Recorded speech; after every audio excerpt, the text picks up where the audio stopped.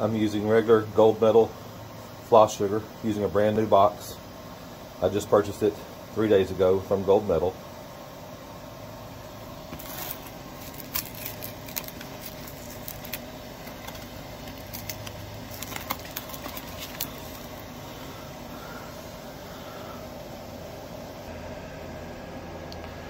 Got a scoop of sugar.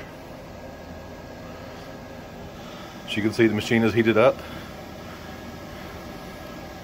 Working. Both lights are on.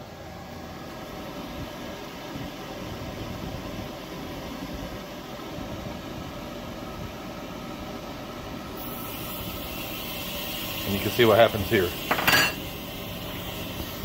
Just makes a mess everywhere. And then the sugar's gone. And all around the ring.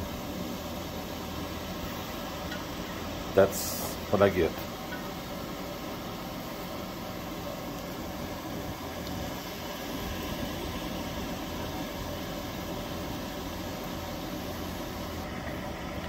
I'll do it one more time so you can see it from start to finish.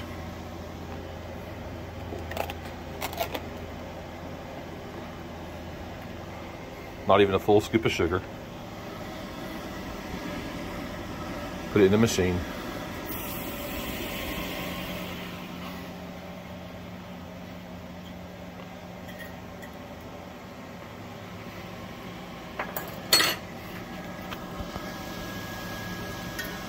And based on my experience, it should not be coming out like that. And you can see the ring of sugar all around the inside bowl. It just gets rid of the sugar immediately. Any help's appreciated.